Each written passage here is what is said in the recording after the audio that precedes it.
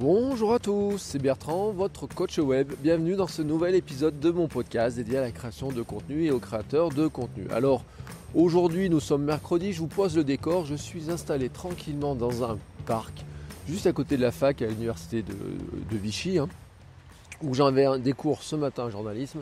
Cet après-midi, en communication web, voilà, au sens large, et puis on va faire un peu plus de, e-commerce. Hein. Je les fais réfléchir sur la logique de communication autour d'une boutique en ligne.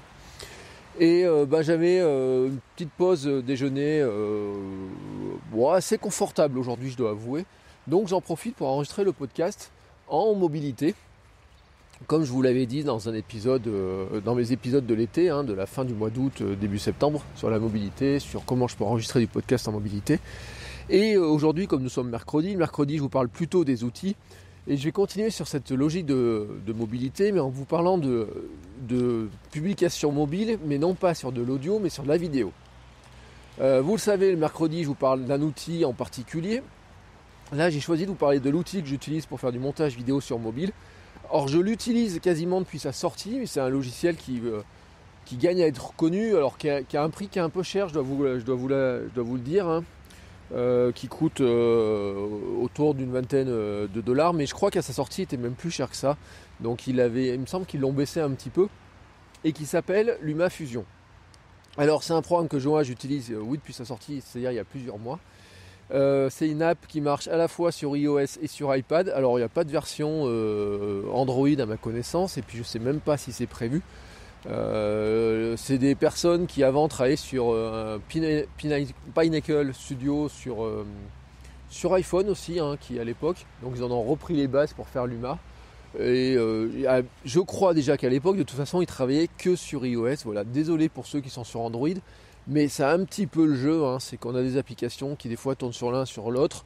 Il euh, y en a qui tentent de passer de l'un à l'autre. Hein. Je pense à des logiciels comme euh, KineMaster par exemple dans le domaine de la vidéo, mais LumaFusion je crois n'a pas fait le, pas. Alors moi j'en suis un utilisateur euh, assez ancien. Je suis même inscrit dans les programmes de bêta testing pour avoir les nouvelles fonctions. Alors il y a des fois des fonctions, je suis un peu mal placé parce que il y a des fonctions que j'utilise avant qu'elles soient mises vraiment sur le marché, puis des fois j'ai des fonctions qui marchent un petit peu curieusement. Donc je ne vais pas vous parler du détail de toutes les fonctions, mais je voulais vous, donner l'intérêt de ce logiciel.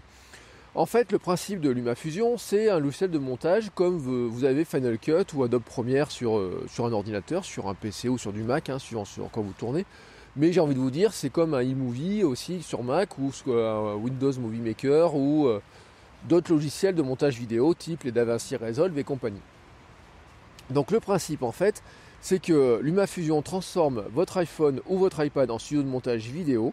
Alors il reprend les mêmes principes de fonctionnement que les logiciels de montage vidéo classiques, c'est-à-dire avec un chutier dans lequel vous avez toutes vos bases euh, d'éléments que vous pouvez intégrer, une timeline dans laquelle vous allez pouvoir placer vos éléments et puis dessus mettre des transitions, des titres, etc. Euh, bien sûr, c'est adapté entièrement au mobile. Hein, on est là par euh, on peut le manipuler, euh, moi sur iPhone je le manipule entièrement par euh, en glisser déposé, même si on pourrait brancher un clavier dessus et puis ajouter quelques fonctionnalités pour travailler plus vite avec un clavier. Et l'interface est même adaptable à la possibilité des écrans, c'est-à-dire qu'en fait vous, avez une présentation très classique, on va dire en trois, c'est pas des tiers mais en trois parties. Euh, qu'on retrouve sur le logiciel de montage vidéo, mais vous avez aussi euh, la possibilité de n'avoir qu'une partie en grand, une autre partie, etc., en fonction de ce que vous voulez, sur quoi vous voulez travailler précisément. Alors, je dois préciser que contrairement à d'autres logiciels, il a un gros avantage, c'est qu'il est multipiste. C'est-à-dire que vous avez trois pistes de vidéo et trois pistes audio. Alors, l'utilité de ça, ben, c'est que par exemple, vous avez une piste vidéo principale sur laquelle vous allez mettre un contenu. Vous allez avoir une piste pour des plans de coupe, hein, ce qu'on appelle le b-roll. Et puis vous avez même euh, pouvoir mettre des pistes aussi, par exemple, avec des incrustations de texte, du picture in picture, c'est-à-dire d'avoir qu'un petit bout d'image incrusté dans une plus grande image, etc. Et ça sur grâce à trois, euh, trois pistes vidéo. Et vous avez aussi trois pistes audio, qui là aussi c'est bien pratique. Hein. Vous pouvez avoir une piste principale avec de la sonorisation classique, vous pouvez avoir une piste avec de la musique de fond, vous pouvez avoir euh, rajouté une voix off aussi, par exemple, dessus, et là vous pouvez enregistrer la voix off directement avec l'application. Euh, moi, je le fais très peu. Enfin, je le fais même pas. D'ailleurs, je fais pas de voix off sur, les, euh, sur mes vidéos que vous trouvez sur YouTube, mais qui peut être assez pratique. Et puis, il sait même faire un truc qui est pas mal, c'est ce qu'on appelle le ducking. C'est-à-dire qu'en fait, il sait baisser le volume d'une piste sonore quand il y a du son sur l'autre. imaginez vous ayez une piste avec ben, vous qui parlez par moment et puis pas, d'autres moments et puis une musique de fond. Et ben, il saura baisser la musique de fond quand vous parlez pour laisser la, piste principale, par exemple, avoir le son toujours au même niveau, mais baisser l'autre piste en, fonction de, en fonction des événements. donc ça, c'est un élément qui est assez intéressant.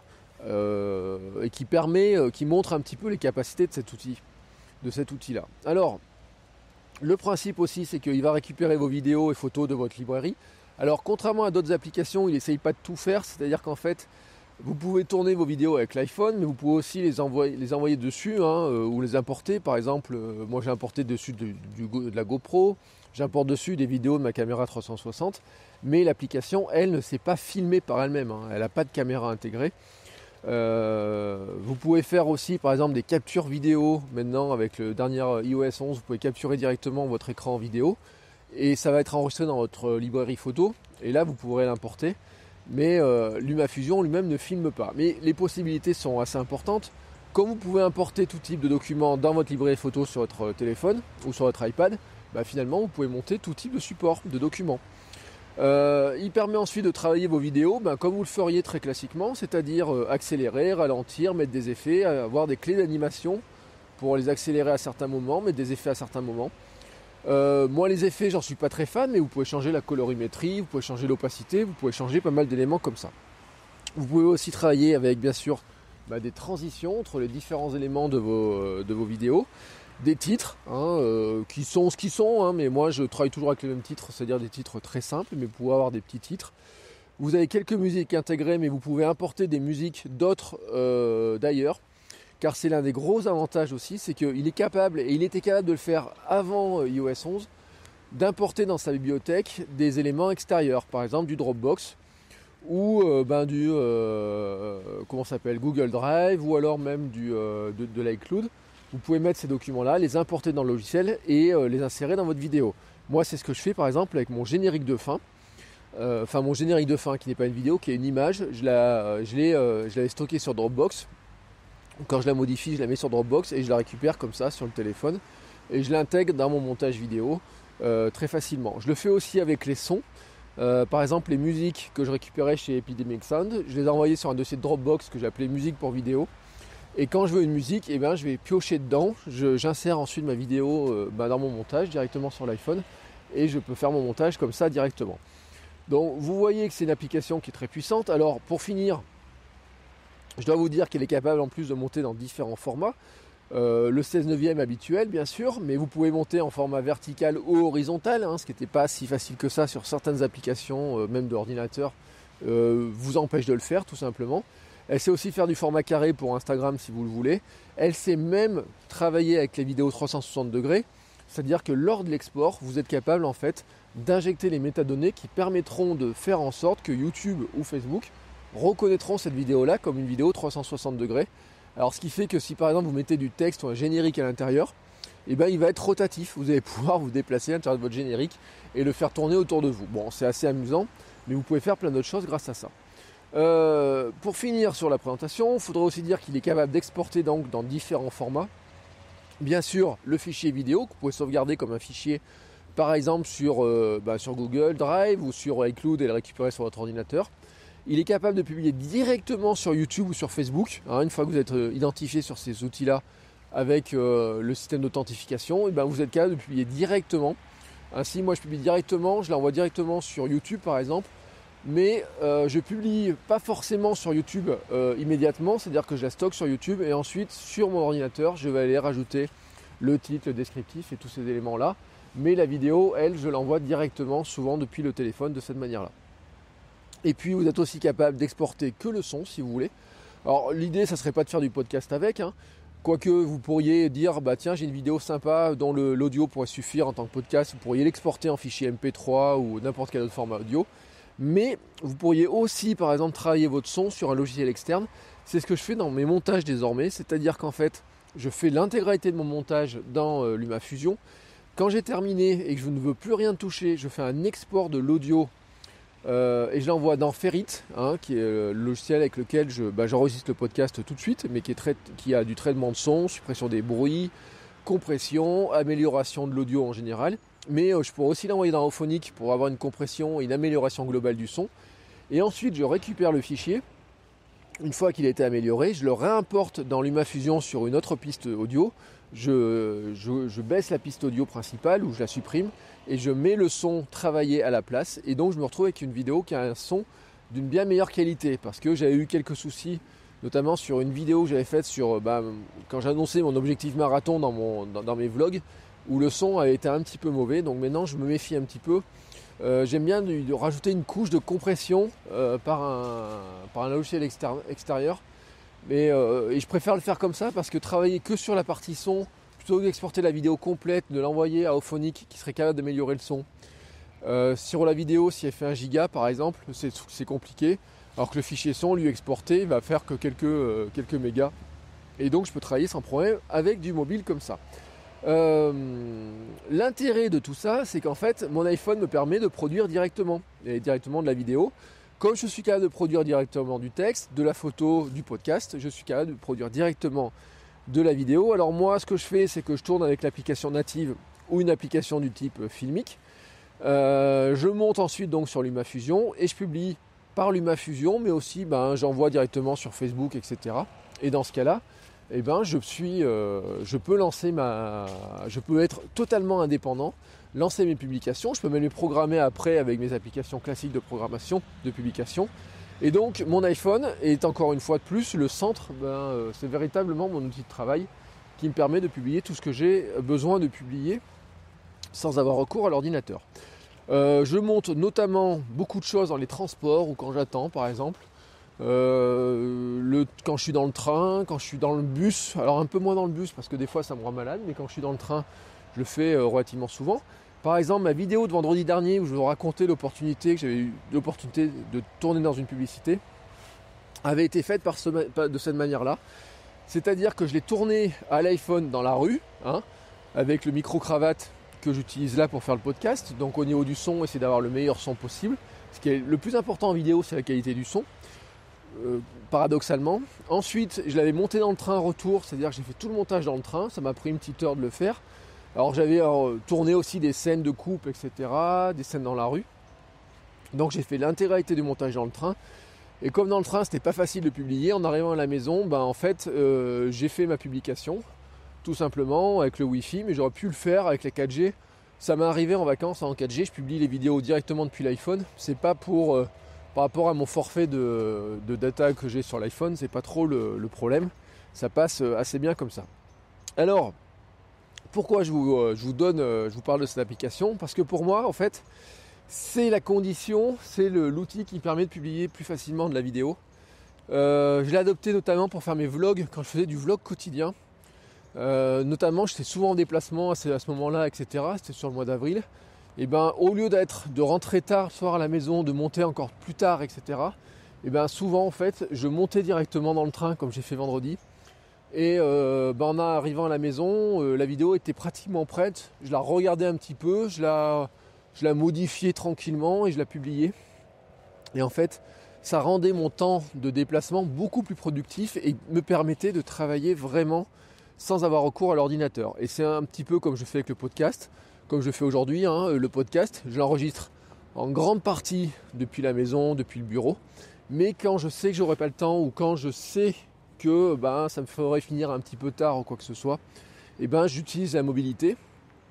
Et euh, ben, c'est un format, euh, la vidéo qui à une époque on avait un peu de mal à la travailler en mobilité, mais avec des applications comme LumaFusion, on est capable maintenant de faire de la vidéo en mobilité. Ce qui rend possible ben, beaucoup de choses. Hein. Euh, faire par exemple si vous avez juste des petits tutoriaux à faire, vous n'êtes pas obligé de sortir une grosse armada ou quoi que ce soit. Vous pouvez monter une petite vidéo de quelques secondes, une petite minute, même mettre de la voix off, etc. Le faire tranquillement si vous êtes en vacances, si vous êtes dans les transports, si vous êtes, euh, si vous avez un petit peu de temps à tuer, ou même moi des fois j'ai fait du montage en attendant un rendez-vous chez un médecin ou je ne sais pas où, je ne sais où. Et puis ça me rend, ben, je vous l'ai dit, indépendant de l'ordinateur. Alors l'idéal, je vous cache pas, c'est que ça serait de le faire sur iPad, parce que euh, sur iPad c'est beaucoup plus confortable pour monter du fait de la taille de l'écran. Euh, j'avoue même d'ailleurs que euh, c'était une question que je me posais, je me dis bon mon ordinateur est encore en fonctionnement, Mais si je devais, euh, si mon ordinateur portable venait à avoir quelques soucis de, santé, je me dis que LumaFusion pourrait faire partie des applications qui me feraient apprécier d'avoir un iPad. C'est-à-dire que dans mon idée, ça serait, je tourne toutes les images sur iPhone, je les envoie sur l'iPad via AirDrop. Donc il suffit de les mettre l'un à côté de l'autre et ça va partir en quelques secondes. Et ensuite, je ferai le montage sur grand écran et puis ensuite, je pourrais déjà publier ça. Bon, je vais pas me plaindre hein, parce que comme j'arrive déjà à faire mon montage complètement sur, euh, sur iPhone et à publier des vlogs, euh, je vous le redis, je vous mets dans les liens de note, en note de l'émission, je vous mets un lien vers la vidéo de vendredi. Donc vous verrez un résultat fait avec, euh, avec LumaFusion. et vous verrez, j'ai plein de vlogs qui ont été faits avec LumaFusion. En général, je le dis, ou, en fait, moi je les reconnais à la signature notamment de l'image. Mais sur le, la qualité vidéo dans tous les cas n'en souffre pas puisque je tourne en Full HD euh, avec euh, la, HD de, l'iPhone et que je le monte sur mon ordinateur dans Final Cut ou sur le téléphone, au final la qualité euh, est bah, identique, vraiment identique au résultat. Donc c'est vraiment pour moi l'une des solutions intéressantes. Alors je vous le dis, c'est plus cher qu'eMovie qui est gratuit, mais c'est bien plus efficace. Euh, dites-vous aussi que c'est une application qui au final est beaucoup moins chère que ce qu'on trouve comme application de montage euh, bah, sur ordinateur. Hein, comparé à un Final Cut qui doit valoir 340 euros ou 300 euros. Euh, Adobe Premiere, je crois que vous, vous faut avoir un abonnement à 15-20 euros par mois sur la Creative Cloud pour, en bénéficier. Bah, finalement, l'achat d'une application à 20 euros, c'est pas très cher payé et ça vous rend des grands services. Voilà, c'est ce que je voulais vous dire sur cette application. Donc sur LumaFusion, je vous mets bien sûr les notes en lien de l'émission. Et dans, euh, enfin, je vous mets les liens par exemple, en note de l'émission. Voilà, vous voyez, je suis en train de mélanger les choses. Et je voulais pas finir sur le sujet de la vidéo mobile sans vous parler du MOOC euh, des Gobelins, l'école vidéo des Gobelins, Laurent Close euh, qui a fait un MOOC. je vous recommande ce MOOC, moi je l'avais suivi les années précédentes. C'est un MOOC sur euh, tourner, monter de la vidéo professionnelle avec un smartphone. Voilà, si vous voulez vous former spécifiquement sur comment faire de la vidéo avec un smartphone, c'est super intéressant. Euh, là, ils ont dit qu'ils avaient changé les sessions, donc je ne sais pas le résultat. J'ai pas vu ce qu'il y avait. Puis, ils viennent commencer. Hein. Vous pouvez regarder, vous inscrire gratuitement. Vous n'êtes pas obligé de passer les certifications, les petites euh, épreuves, mais vous pouvez vous amuser à faire ça.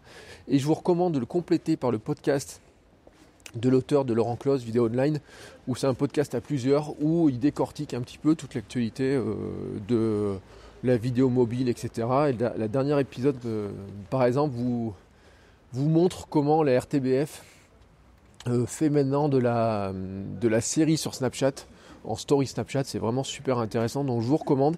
Là encore, je vous mets les, les liens dans les notes de l'émission. Et je vous dis à bientôt, enfin pardon pas à bientôt, mais à demain pour un nouvel épisode. Ciao ciao